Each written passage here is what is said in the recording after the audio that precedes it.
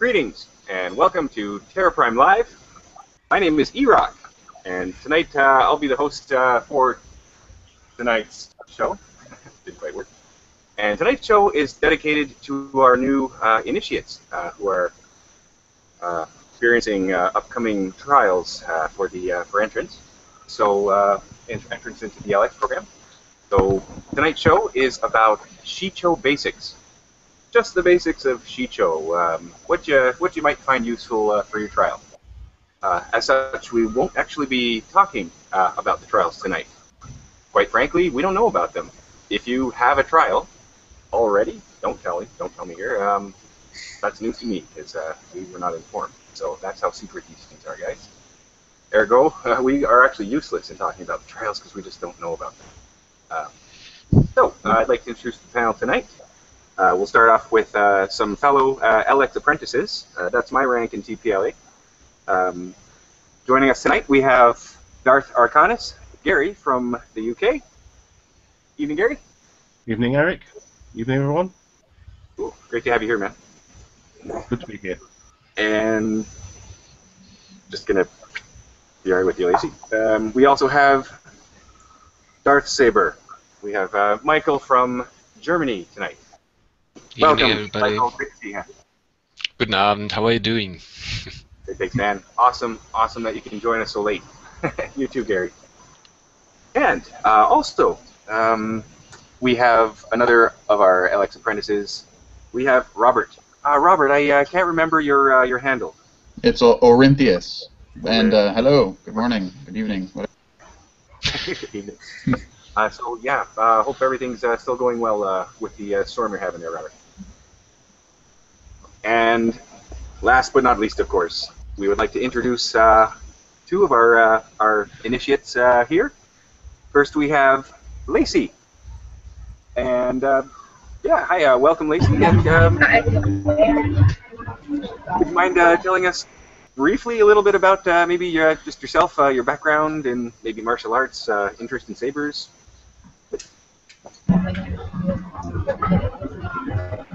Okay.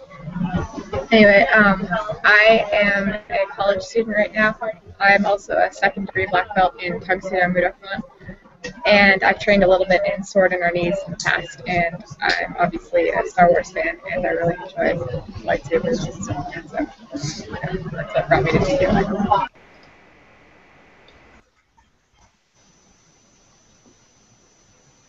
Excellent.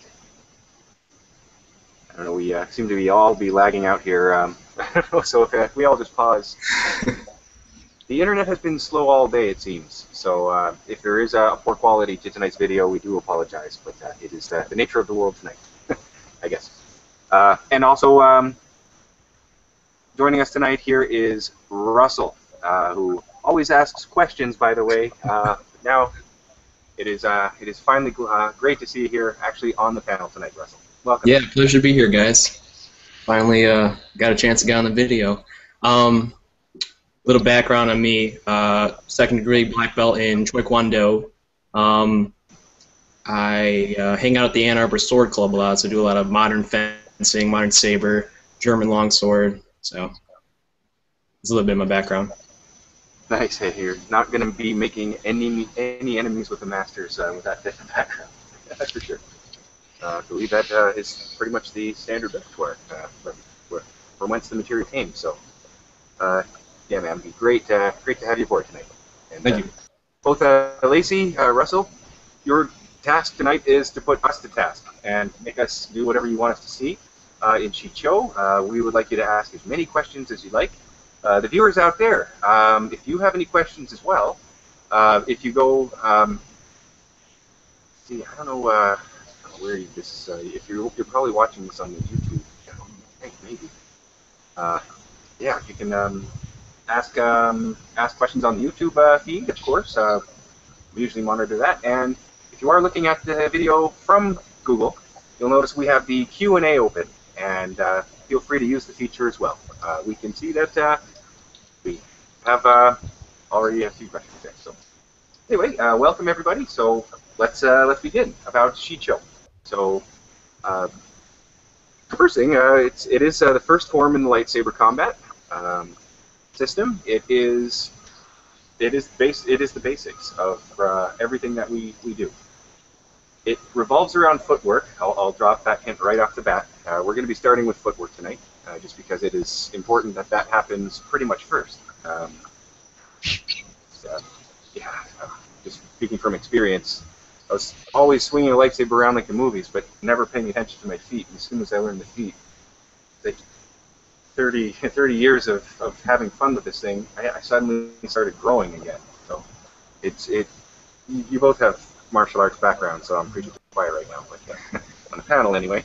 Uh, out there, uh, if you don't have a martial arts background, I didn't either. So uh, yeah, just it is definitely uh, important to be working on the on the footwork. So we will be doing that. Okay. Um, there we go. Is that uh, is that better? Uh, I think the video was uh, was stuck there. I think I had somebody click. Um, thank you, Master. Anyway, uh, so talking about Shii-Cho uh, and the basics. Um, does anybody want to just uh, start off um, just with your basic thoughts about uh, Shii-Cho? Uh, Gary, uh, Michael, Robert.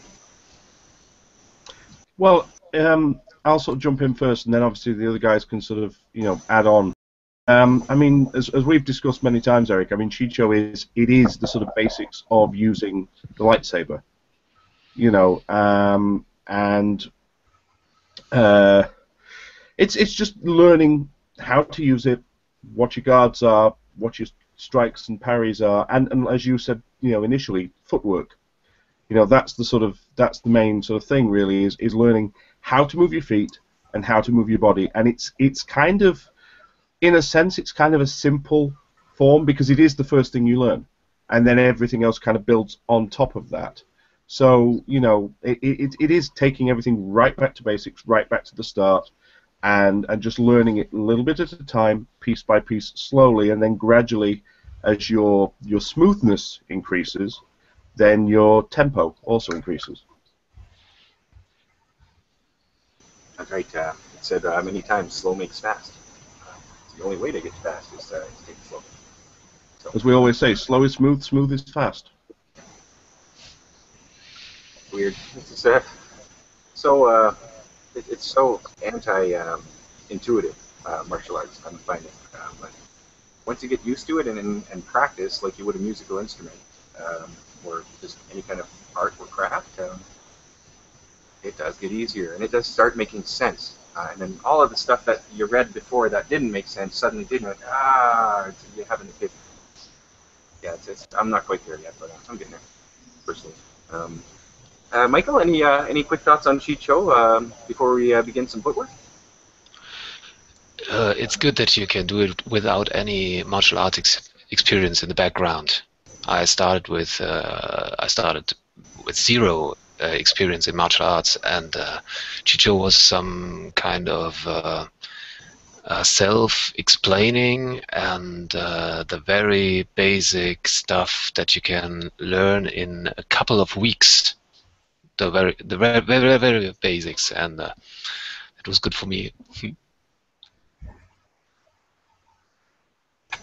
Very cool. It's a Very barking. good. Um, I'm going to add to that as well. I, when I did Shii-Cho, I found that um, it's a lot about understanding how the saber works. It's basic. It's it's the simple things you're going to go back to. Uh, if you've been in martial arts, which it seems both of you have, you, you understand that the fundamentals are what you go back to when your brain locks up on the advanced stuff. It's the most important concept to me is that you understand your basics. You go back to root, you go back to form, and you get simple swings, simple blocks, simple steps, and it makes uh, it makes for a better experience by understanding your basics. Yeah, absolutely. And uh, uh, probably Michael uh, found out as well as, as well as I did uh, firsthand is when you don't have those basics, uh, you notice that it just doesn't it, it just doesn't work. Um, you try as you might, you fall over, you it, it's it's sloppy. It's all about planting your feet. Um, it is your connection to the earth, and that's all you have. As uh, as Pastor Melvin said once. So, um, let's uh, let's get into some footwork then. Um, I'm just going to adjust the camera so we can see that.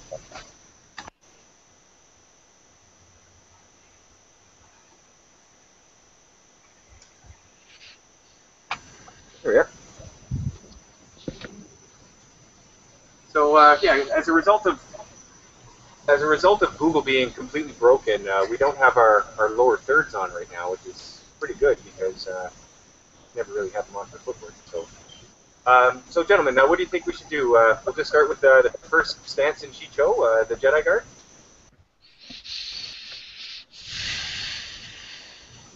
Okay, so um,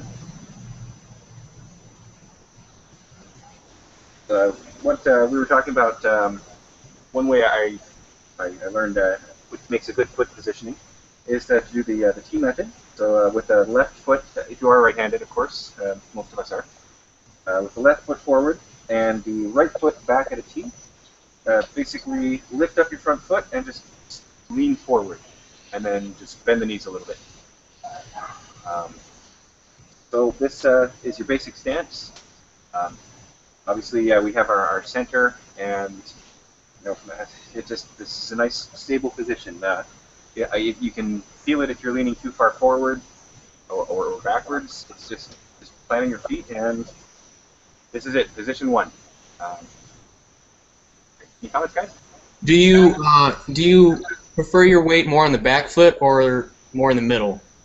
Um, what I'm doing right now um, is I, I sort of have a lot of the weight uh, more or less on the uh, on the back. Both of my feet are flat on the ground completely, um, and yeah, I can. Uh, I'm ready to uh, either shift the weight forward a little so I can jump back, or the other way. Uh, it really depends on what, what what you intend to do. Russell, I assume your uh, Taekwondo background allows you the, the 70-30 or 60-40 concepts for, for weight balance. Mm-hmm. Okay, um, my stance, I'm usually 60 back, 40 front, Okay. but a lot of people will argue 70-30 or even 50-50. Okay. Yeah, if I can just come in on that as well, because I have a, a Taekwondo background as well. Um, what I tend to find is that your your sort of guard position, um, if you're familiar with um, sort of L stance, kind of Nyunja Sogi, uh, you're looking at your weight being predominantly on your back foot in, in, in that sort of guard position, in a defensive position. When you're going into your strikes and you're pushing your weight forward, you're looking more at a, at a sort of a, a walking stance or a front stance kind of uh, position, so your weight is coming onto your front foot. If that makes sense. Okay. Cool. Um, all right. So once we're in uh, position one, I guess. All right. Um, the next, uh, the, the first thing I would like to show you is uh, the uh, three uh, the three point step, and essentially what that is, it's basically the, the first move in the Dulon. It's uh, the first step in the side strike, and what I'm going to do is touch my feet together and step forward. Just reverse it if you like. And again, touch. And there you go. So that's going to be uh, a very important thing, and you can uh, keep going. Step forward, and then touch again for the other way, and then reverse.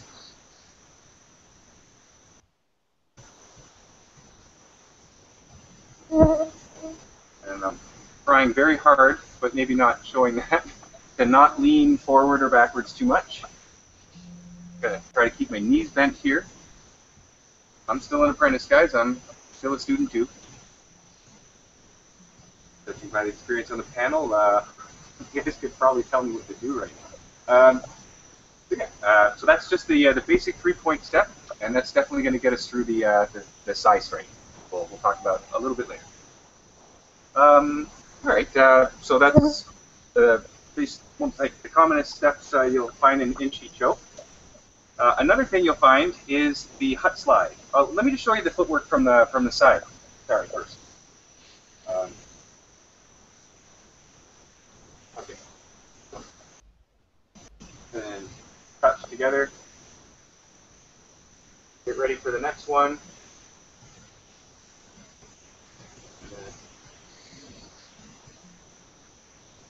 Touch together.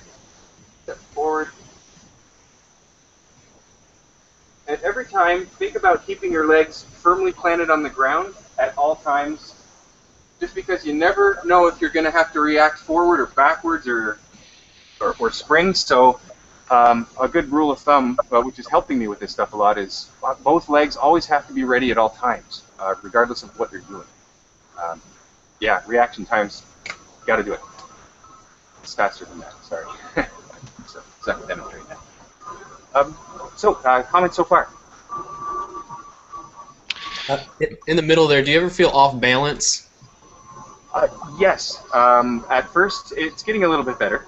Um, uh, what, what, tends to keep uh, solving that for me is uh, it's staying lower to the ground, keeping my center of gravity down, and then it's really just a transitional step too. Um, the foot really doesn't touch the ground at this point. It basically just taps. See if I can. Uh,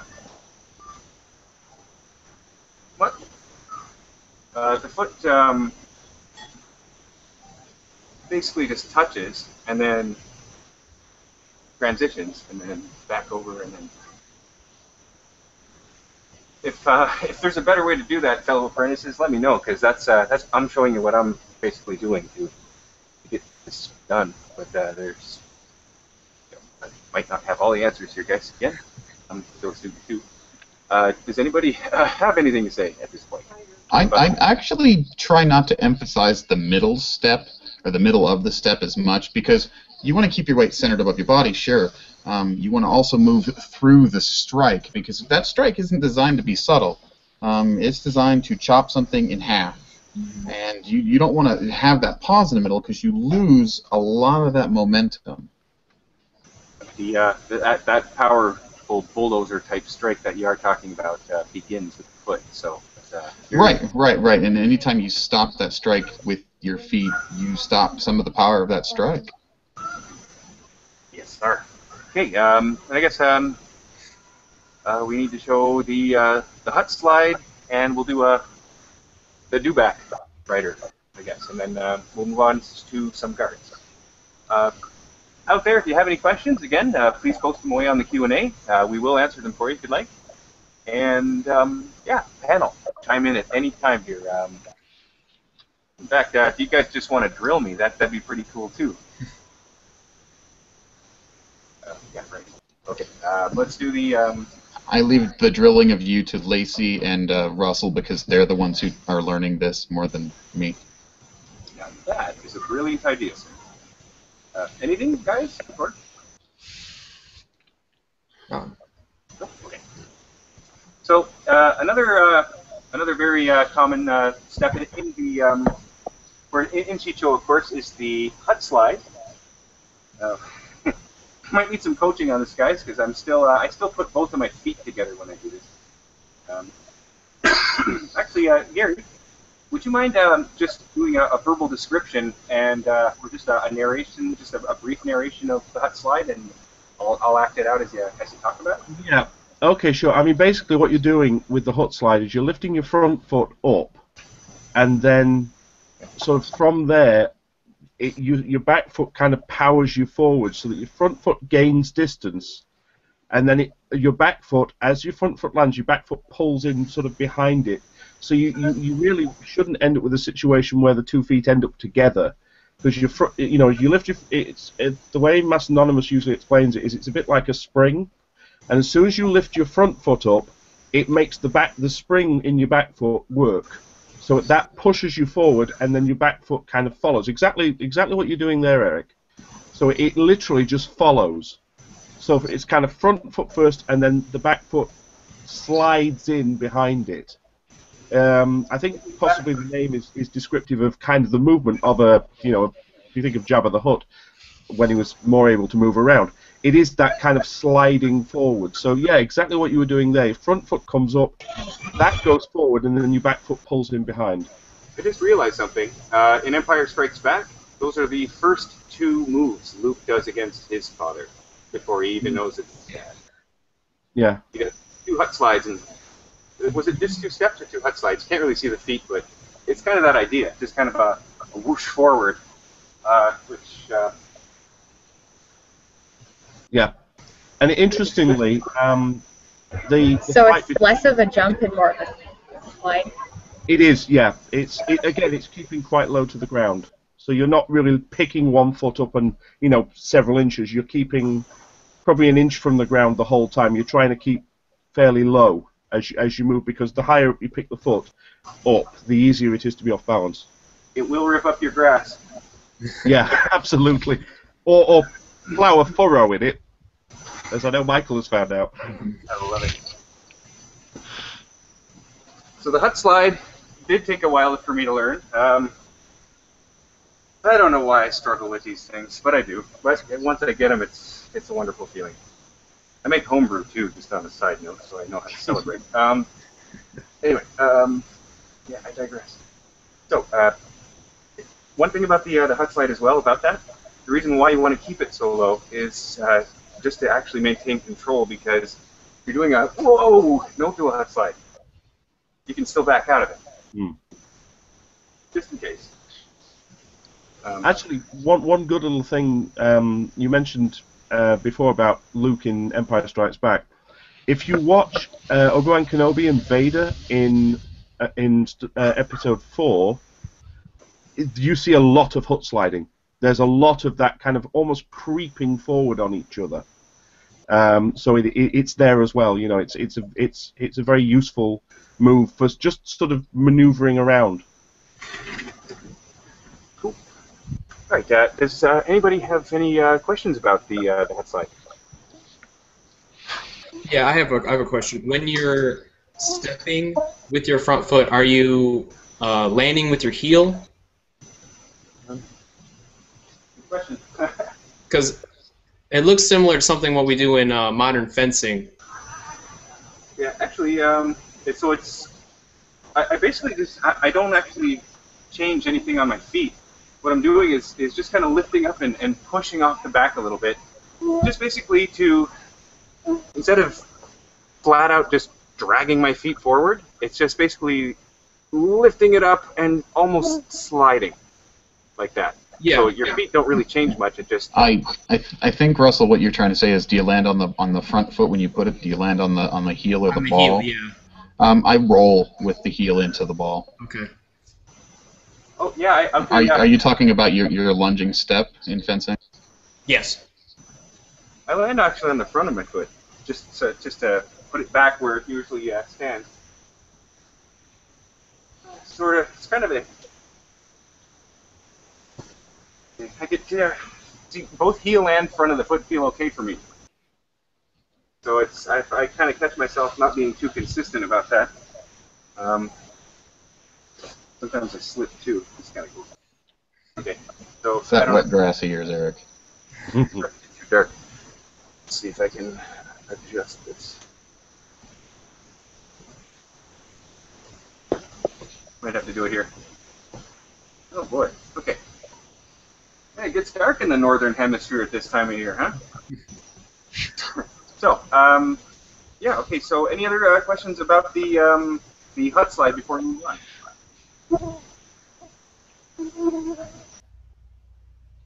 Okay. So, uh, next one, uh, the other stance in um, in Shii-Cho, we have the um, the dewback, uh, the dewback rider, and what you got to do, can't do for the dewback, is basically pretend you're riding a big fat dewback, whatever the heck that is. Um, and I guess dewback riders rode these things and slashed from the top of them. I don't know. Um,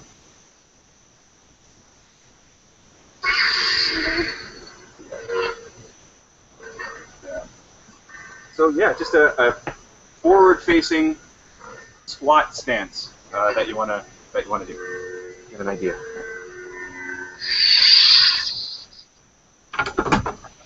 Hopefully this will work.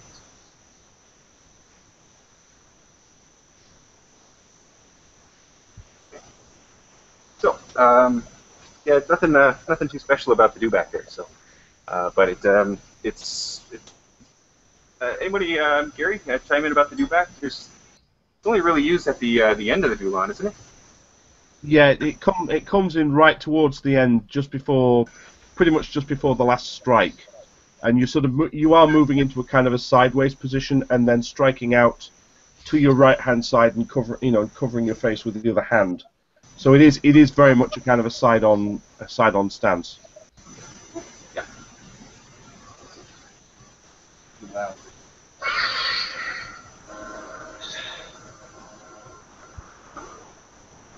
Ag- Again, um, you know, if, if with with obviously the panel having you know several of them having martial arts backgrounds, they'll have seen similar kinds of stances in their own styles. Not good for ambient lighting out here. Okay. Uh, jeez, guys. Um, I might have Got to- that really quick. you Might have to uh, drop the lamp right on the ground here in a moment here just to show this. Um, but uh, let's, um, yeah, if there's no more questions about uh, footwork, um, I know it was kind of basic, but those are basic steps, and uh, those are the ones that you use in the Dulon. Did we miss any uh, from the Dulon? Nope. No, I think we're covered. So we got that. So uh, let's move on to the guards then. Sorry, I'm just gonna.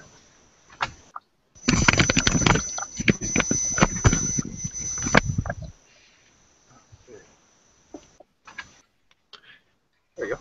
Sorry if that was really loud. Um, there. So. So, uh, okay, the footwork. I wish uh, these webcams went sideways, but they don't. Mine doesn't anyway. Um, it would be much, much better to, to be able to show you the footwork right now, but I have to take close to the slides so you see me. Ah, Get that uh, next time.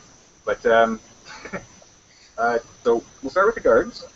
The, uh, just with that first uh, set of, st- uh, the first stance, uh, with the, the back foot, um, I guess the, the right foot back and the left foot forward. Um, you grip your saber. Um, I don't know, it's, uh, grip it firmly, and sorry, you got him finally. Uh, yeah, just get a good grip on it, and I don't know. Uh, wish wish I could remember exactly what uh, Master Vornok said, but um, I don't know. I, I think for Shii-Cho guys, do they prefer uh, a wider grip or a shorter grip, or does it really really matter with Shii-Cho? If I recall what was mentioned, they want the the front hand as close to that emitter as comfortable and right on the pommel. They want that big wide grip. And the way they explain it is as you swing it, you're trying to pull this thing apart, which gives you your full power in your swing. pull it apart, and then you betcha, goes right down. Feels like you. you uh, next time I uh, I chop wood, I'm, I'm definitely gonna try cheap cho style instead of chopping it with a like a. Um, would look good, wouldn't it? Um, okay, so the uh, so got your for- forward guard. Uh, I guess we should talk first before we get into the guards. Uh, talk about the body and uh, the parts of the body. So the, the zones of the body, I should say. Um, basically around the uh, the head. That is zone one. Um, in your saber hand, uh, we'll start with your the, the non-saber hand. That's your zone two. The enemy's uh, non-saber hand is also two. So your two is actually crossing over to your enemy's two. So you know. That confused me for about a month. Um, your saber hand, and this uh, this area here. Uh, sorry, zone two is, is all the way around. On this side, zone three is the same way, but on this side, your dominant or saber hand.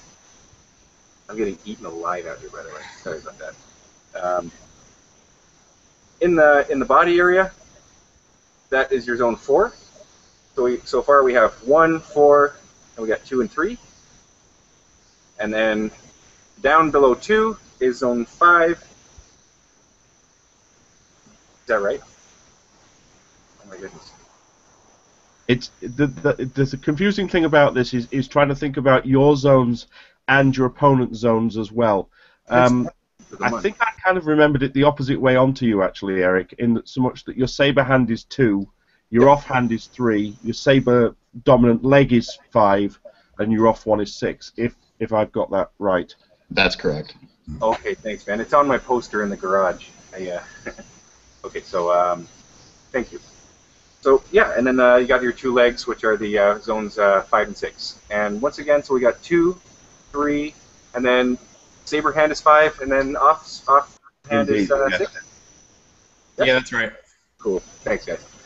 Okay, so when we talk about a, uh, a three to six strike, that'll be going from up here to down here, uh, or a zone four strike, which is probably a shiak. Uh, Right through the middle. uh, same with the uh, the zone one, shiak to the head, and uh, so, and uh, you can do a zone uh, uh, a zone six attack, which will be down on your opponent's off leg. Zone five, the other way. Um, turn this on. So uh, let's start with the other guards. So you're forward uh, just off to your zone uh, three, with the blade facing up. That is the basic Jedi guard, and that's with the, the the nice spread leg stance, left foot forward, right foot back, ready to either go forward or backward at a moment's notice, uh, or do the uh, three point step. Anyway, uh, if you do switch up the stance, excuse me, here we go. If you switch up the uh, the stance, um, you'll now be blocking. Uh, it's like a reverse Jedi guard. Um, you can also hold the middle. And then you have the inverted guard. So same uh, same situation. So your hands just stay the same the entire time, right? They don't like switch up or anything. Oh yeah. Uh, with pretty much all of these moves, you can keep your, your hands very firmly on your saber. Um, you should keep your hands firmly on the saber, and then switch switch your stance, and that changes the guard. Of course, it to the middle.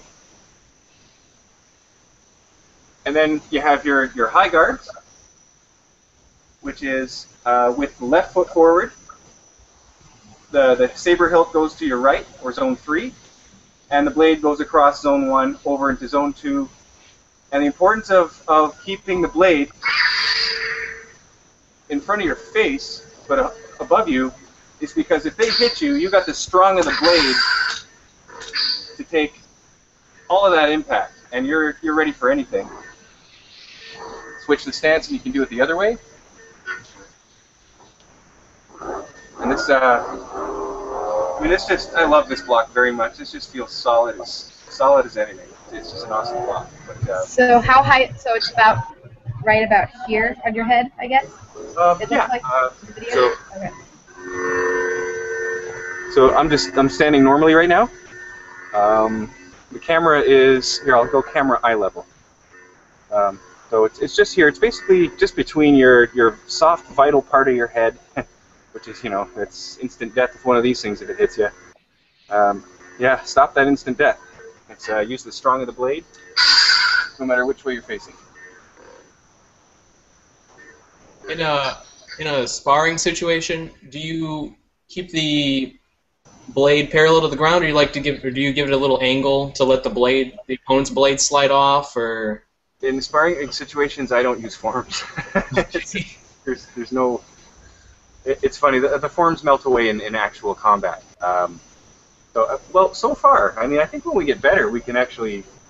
I think we'll be using these things. But for now, when uh, when I did some uh, some sparring against uh, Master Anonymous, yeah, no, it was it was kill or be killed. Um, good thing we were wearing gear. There's well, you know, it's uh, it's policy, and we, we don't have a choice to wear gear. We, we do it because we don't want to die. I can see why we wear gear after fighting Master Anonymous. Um, it's awesome, but no, there was no no time to figure out which one to do. It was get his out of the. Oh, he hit me. Wow. Uh, okay, try again. Uh, yes, I blocked. Ba- ah. Oh yeah, keep going. Okay, yeah, right. Um, so really, maybe later we'll incorporate some of these. Uh, I- in, I, I can see the theory behind it, but um, I, I never actually used it in a. There's, there's So time. Eric, uh, what else do we have for for guards? That's it's that simple. Um, there's the do bat. Know, there's, I mean, the other one I'm thinking of is from Djem So. Uh, you have your, of course. I'm sorry. Good idea. Um, thanks, uh, Robert. you have your um, center your uh, your high guard, which is the Jedi stance. You're blocking your legs. So you block, block, reverse the stance, and you can uh, parry low. And that's good because that's the beginning of the side strike as well. So uh, you'll notice a lot of these guards literally turn in directly into strikes. Um, very important to note that. It, it- this thing is, is very one right after the other if you want. Uh, any guard can almost instantly turn into a strike, which, well, which is why they had to make six other forms to fight it. so, um, questions or comments so far? Nope. Doing pretty good for time here. Good. Uh, yeah. so, um, now that you know how to defend yourself, initiates, it's time to uh, it's time to show you how to send some of the punishment back. Oh yes, Sith or those Jedi if you're a Sith. Um, yeah, we take all kinds here, guys. Um, We call them opponents on either side.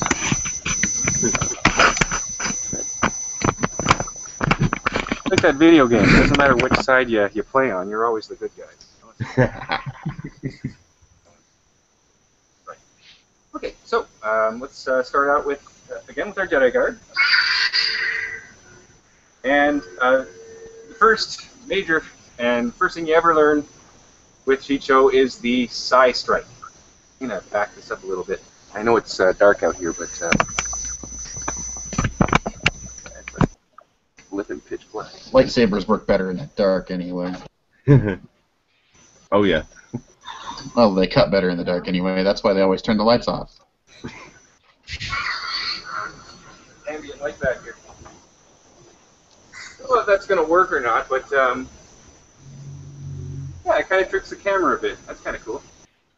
Okay, doing the best we can, gents and ladies. Um, so, we have the, um, again, the Jedi Guard. So, with the side strike, what you do is you bring the foot in again.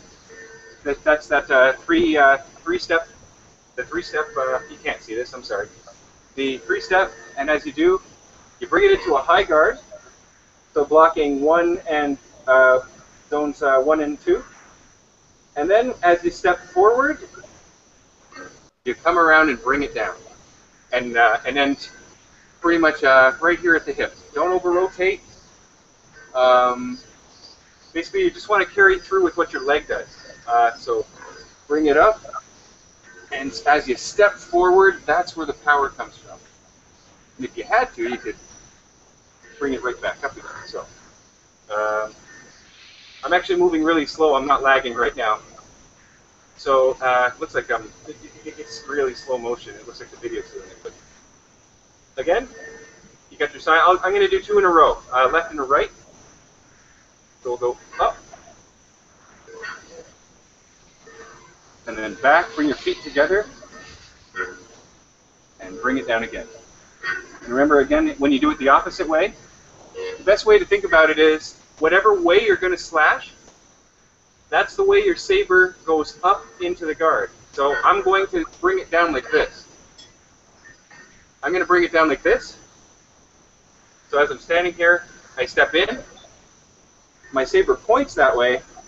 It goes around and smash the bulldozer. And then uh, it's the opposite way when you go the other way. So you bring it down, feet together. Notice how the saber goes that way, and that's the, way I'm going to swing. Step into it.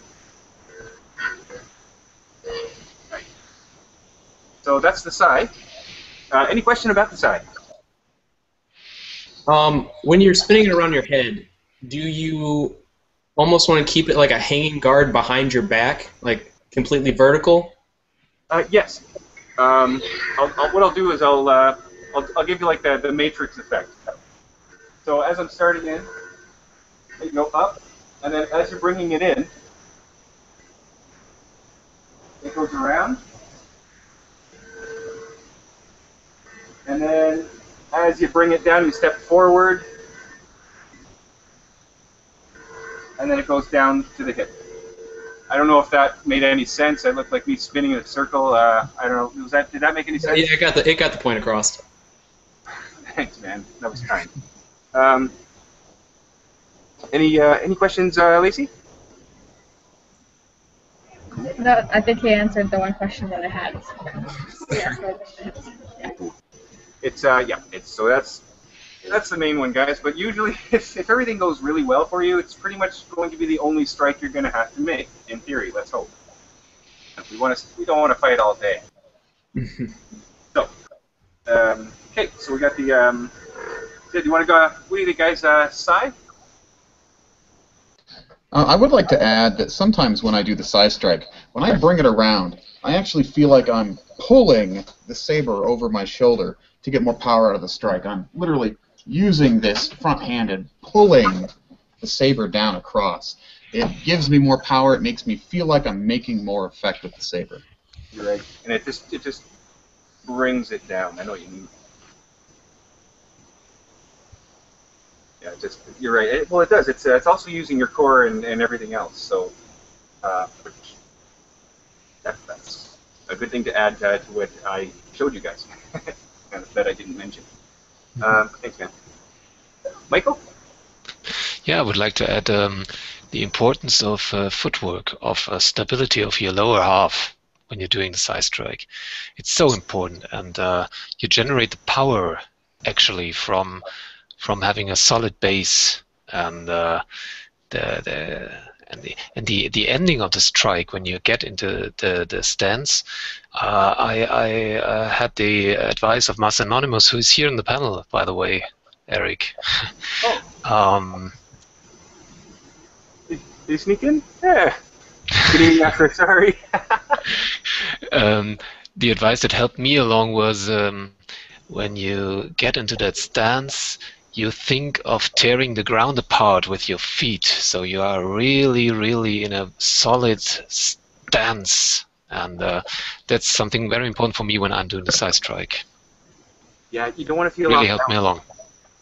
When you bring down the hammer, you don't want to feel uh, you don't want to feel off balance. Um, okay, so uh, we'll go to the uh, we. I just did Sai. So um, the next one would be a choke strike, which uh, is uh, reversed. Starting mosquitoes. Okay. So. Uh, here we go.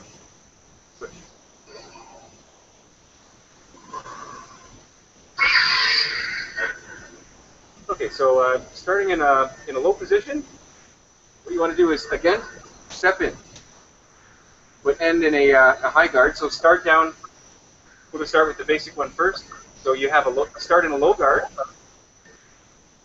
and then as you step in, it's just one step forward, sweep. All right. All right. Good. So just one step, no, um, no touch the feet together, and then uh, up. If you wanted to, you could do the, uh, I suppose.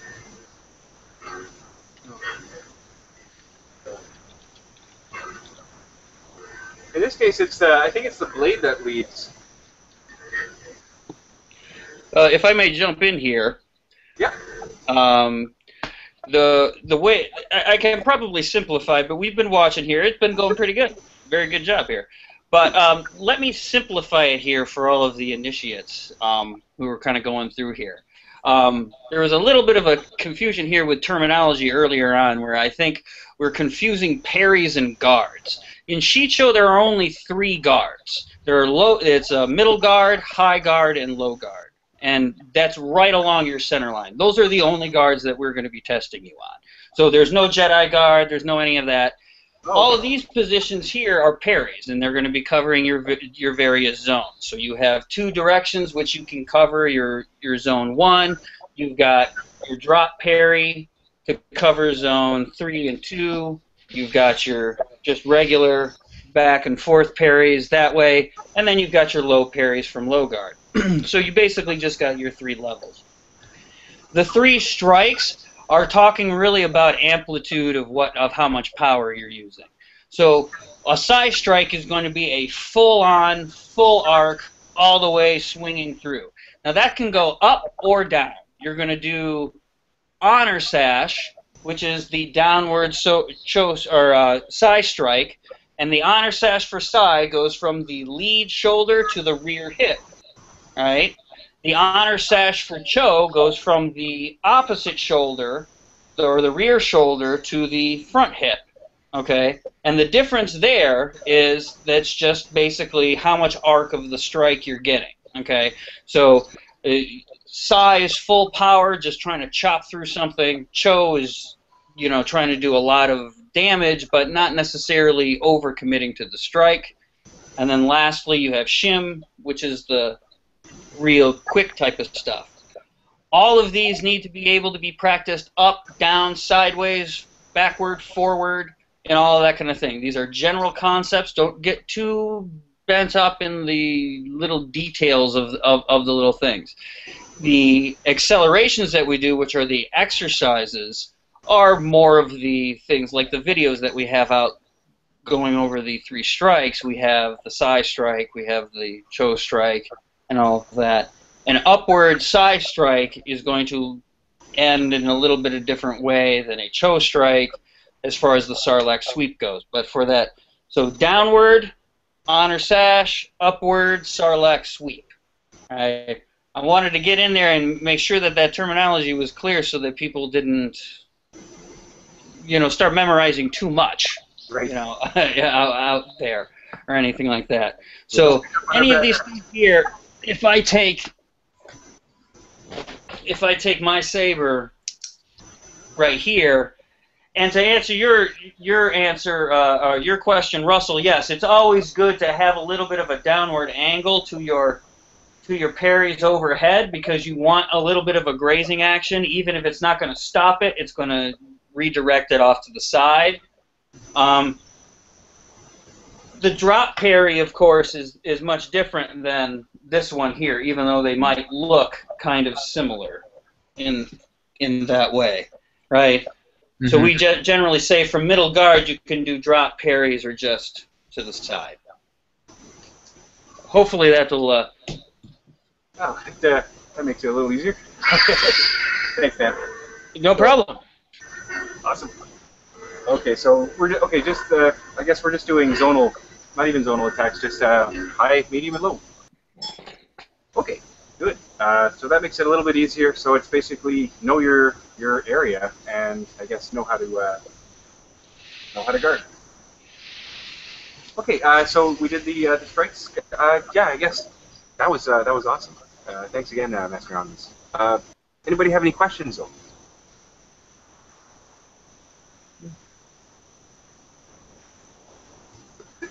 On the on the Cho strike.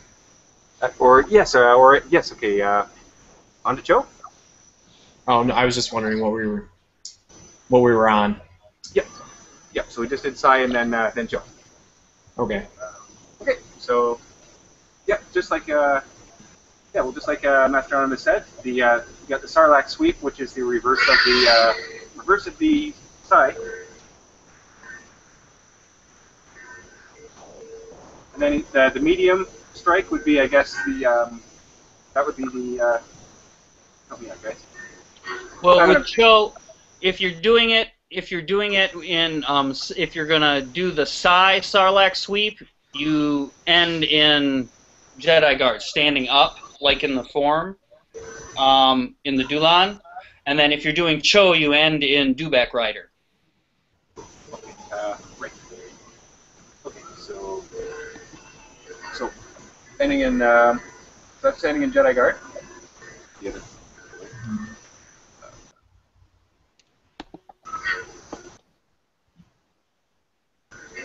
Good. My feet are always ending uh, in that uh, T stance that I showed at the beginning.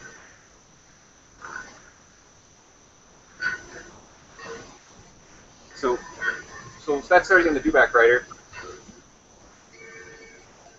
Is it supposed to really go back that far? Well, it's you're supposed to go to Dewback Rider. Your upper body, your upper body is here, right? Just like this, and then you're you're you're sitting in the middle down in Dewback Rider, or, or in if you're doing martial arts, uh, horse stance. That would be the Cho variation of it. For the for the side variation of it, you come all the way up and then bring your feet together so you're in a standing position to get the full arc. I see what you mean. It, continues on when you do that. Um, so.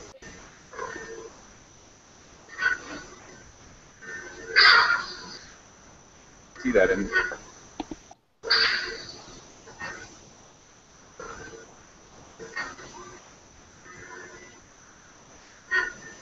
Yeah.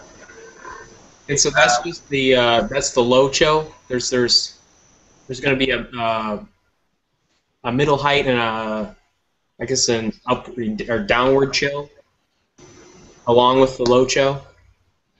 Yeah, you downward. You just do. You would just do honor sash, but you do it instead of going to your rear hip where you can get the full size slash.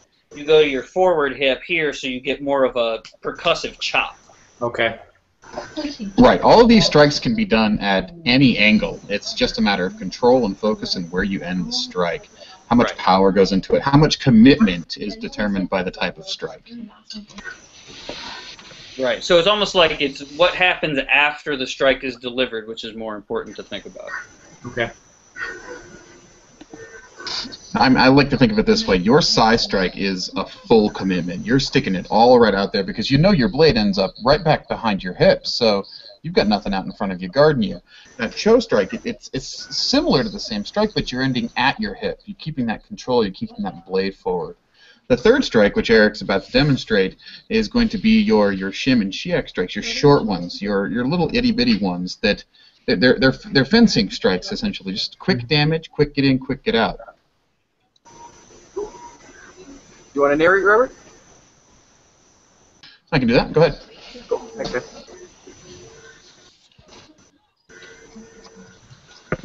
Straightforward. It's uh, Right. Yeah, and, and then those are your those are your shiak strikes. They're basically thrusts, and and they're they're done by pointing the tip at the target and then raising your lightsaber into it. It's um, it's like stabbing someone, and you can do it to any point in the body, arms. Uh, number four, your chest. It's really big. It's really easy to get to. Um, even from time to time, you can do a shiak to the head.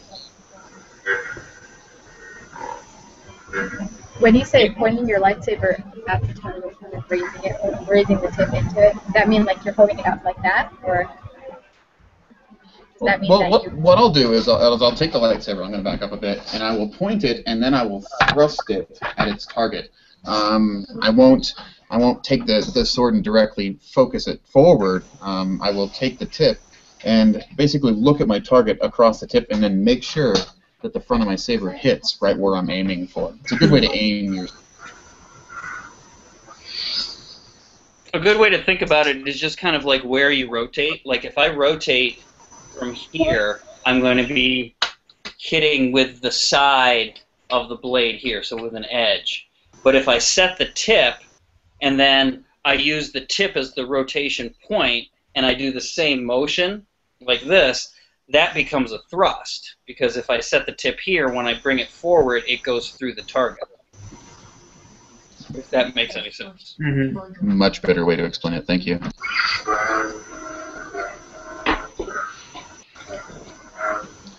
And then you've got your shims, which are your your light strikes to any target.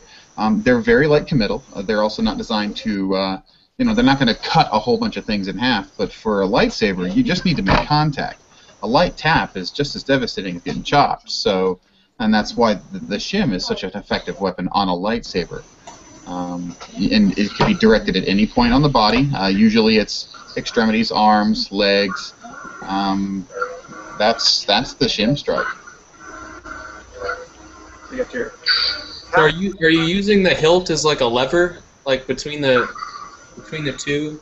It's like you're creating this like fulcrum between. the- Yes, e- exactly that. You're you're basically using that hilt and reaching out and tapping your target. Your control, your your front hand will basically hold the saber while you're angling it in with your backhand. Okay. Yeah, it's it's it's exactly a lever. You know, any any type of kind of lever action that you're doing, that that's what you're doing. So the harder and the faster you can get this motion going, the better your spin strikes are going to be. And those are your bread and butter when we're talking about lightsaber combat.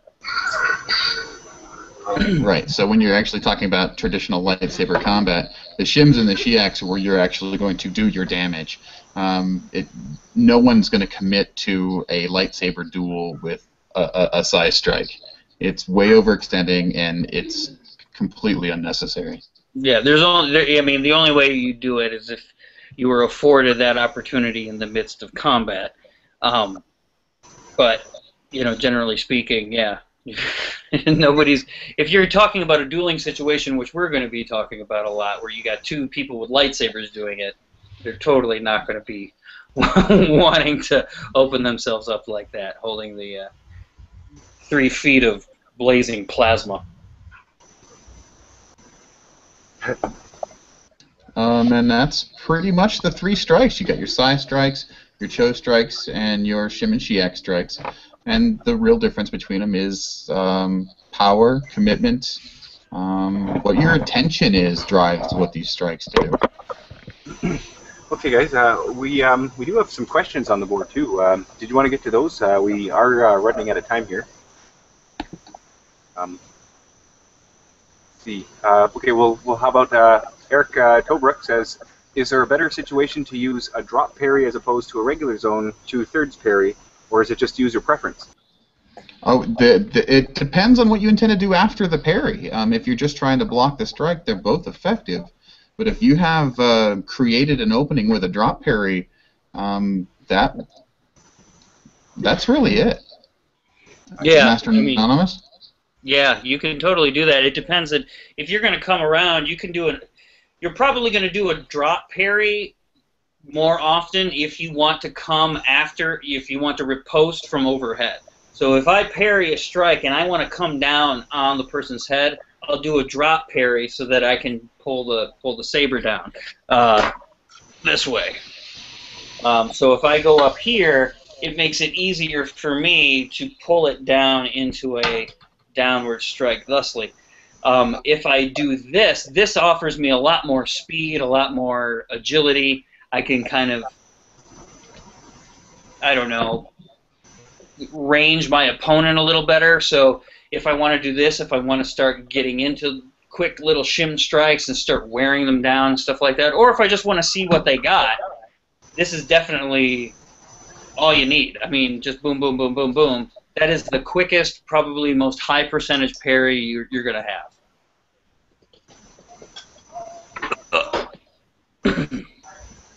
Okay, Eric, we got any other questions, sir?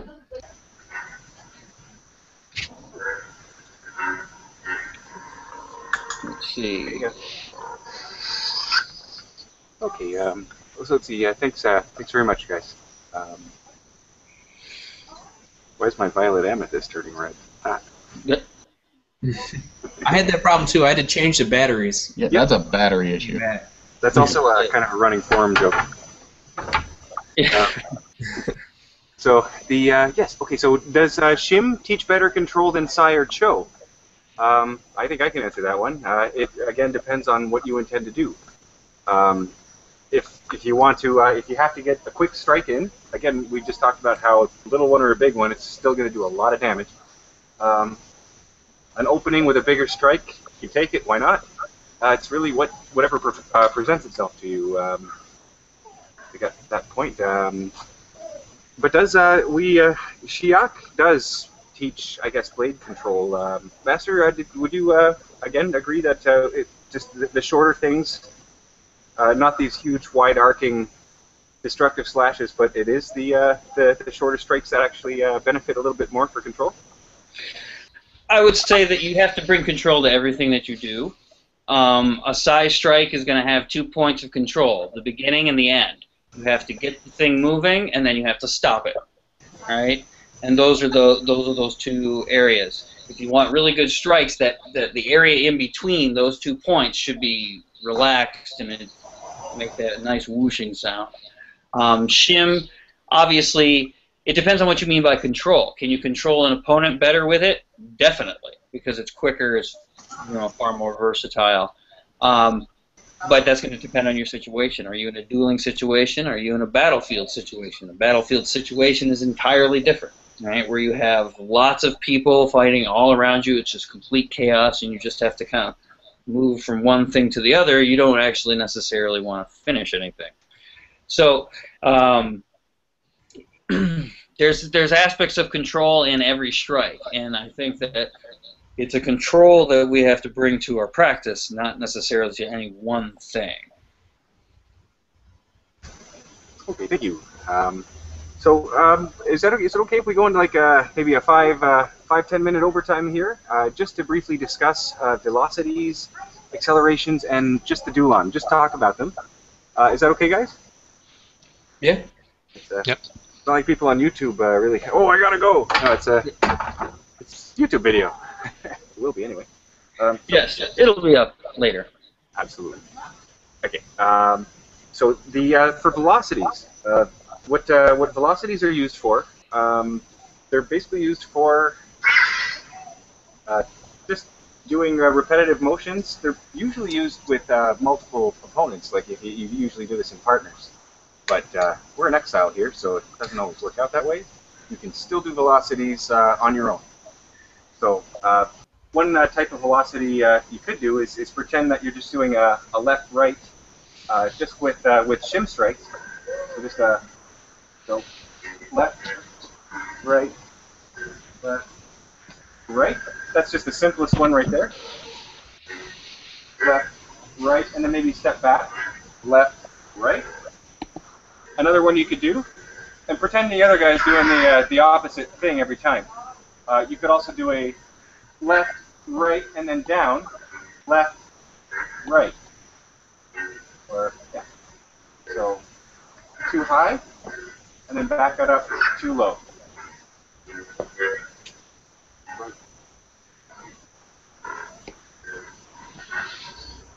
But do keep in mind that the that the velocities which we will be testing you on with the trials are the three that we've posted: the nucleus, the Kessel Run, and uh, three of each. Ah, cool. Okay. Oh, uh, knew it. I knew I forgot to look at something. Uh, okay, so uh, Master, uh, do you, would you recommend just the, the videos online? Um, Yeah, the videos online. The velocities are two-person exercises. They are um, essentially like little choreographed fights, but they're repetitive in nature.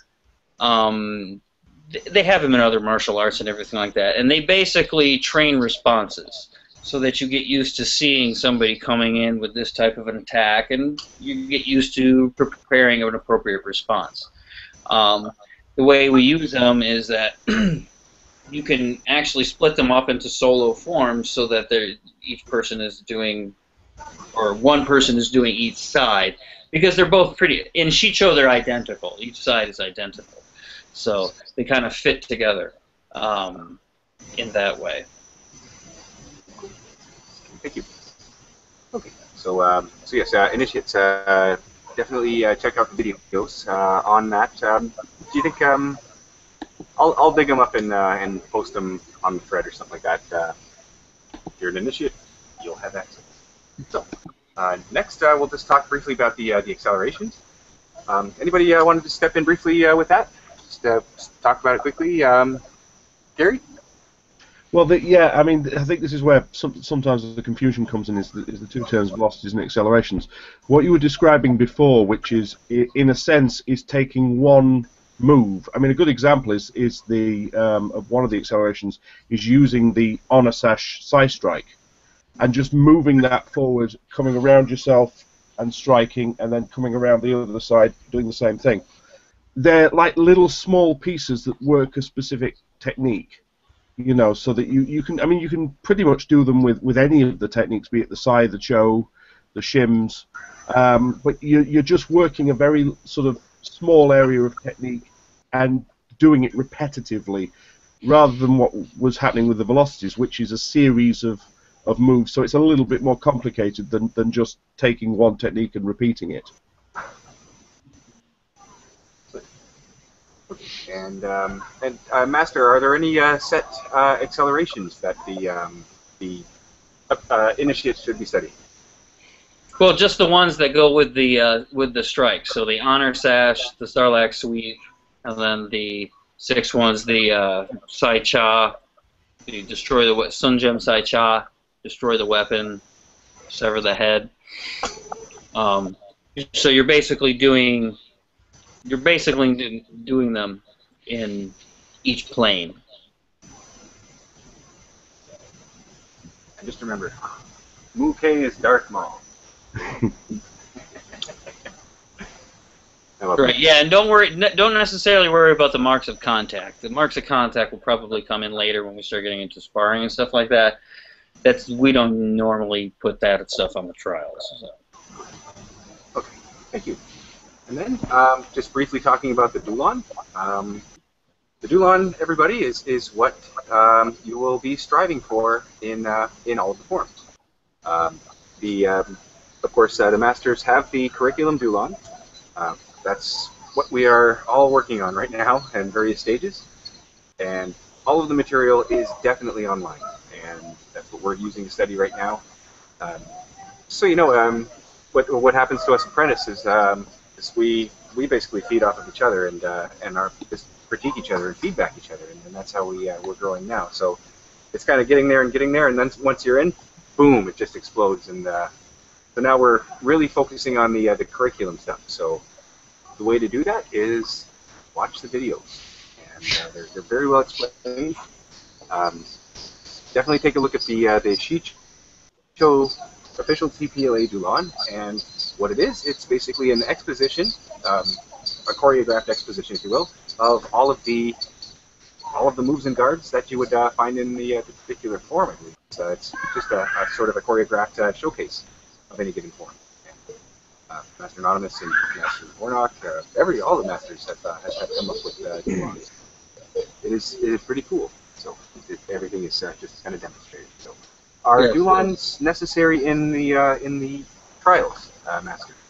Yes, yes. Dulons. I mean, if we're talking about learners in exile, forms. Dulon, we call them in, in lightsaber. Uh, kata, called in Japanese. Um, Daolu in Chinese. These sets, these sets of movements, shadow boxing in English. Um, what what they really are is how we practice without a partner.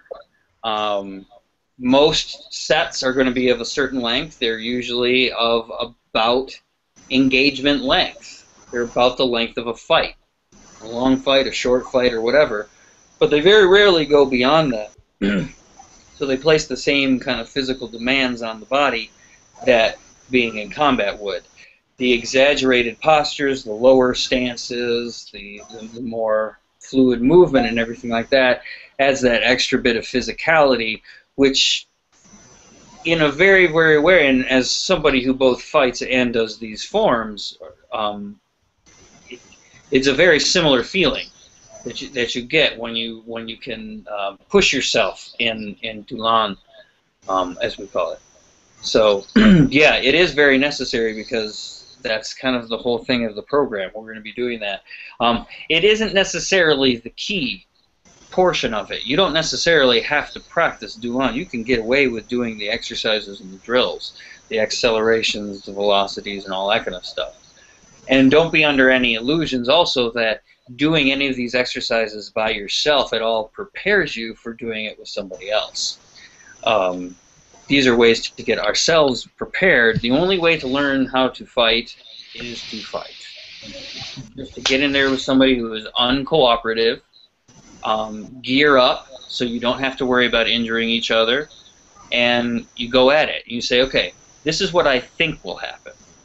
Let's see if that actually happens. Sometimes it will, sometimes it will not. Um, and then you, you keep making those decisions and you know those those little things as you go on, and you build up that experience that way. Thank you. Hey. Um, wow. Yeah, it made, it made that makes a lot more sense to me now. Uh, so, uh, does, uh, are there any uh, last um, last minute comments or uh, or questions from the the panel? Uh, anybody, right across the board. We'll start with uh, Gary. Um, no, I mean, I, th- I think to be honest, you know, it's, it's all been sort of covered pretty well, really. I think it's just, you know, as we've we've said numerous times before, I think it is just a case of um, just, you know, prepare, go for it. Um, make sure you check out the material online, and and and just have fun with it and enjoy yourself really and and and you know when your trial comes through just just just have a blast with it really Absolutely, yeah. yeah it. it ain't nothing if it ain't fun. Huh? It's, it's, uh, Watch, watch the watch the videos, yes, and uh, and uh, fire the questions you have on the Facebook uh, groups. You uh, be sure to to to ask for anything you need before you enter the trials, and uh, yeah, good luck to all. Yes. I'd like to just add, just was just to put out something to uh, Lacey and Russell here. Um, how do you feel a- a- after this? You guys feeling psyched and ready for for what's coming? Oh yeah, Yeah, definitely. Excellent. psyched and a little nervous. Well, have Yeah. fun with it. Have fun. Oh yeah, man. And and Robert, um, any uh, any last uh, closing words, sir?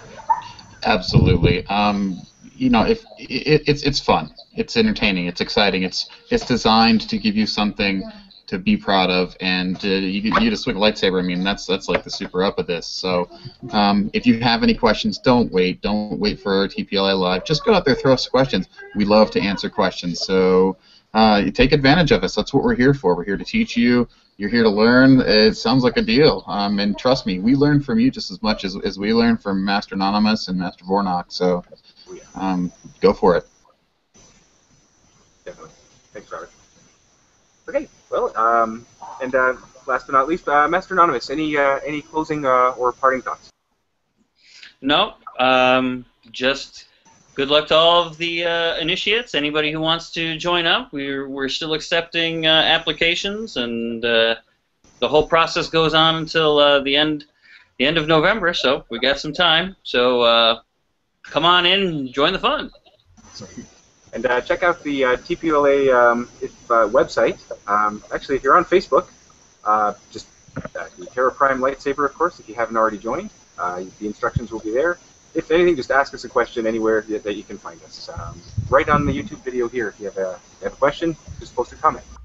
So, on behalf of, of Master Anonymous and Terra Prime Live, uh, we thank you very much, uh, and the panel as well, uh, and you out there, of course, in the world, in the universe for joining us tonight, and uh, to our initiates. Again, uh, thanks, uh, Lacey.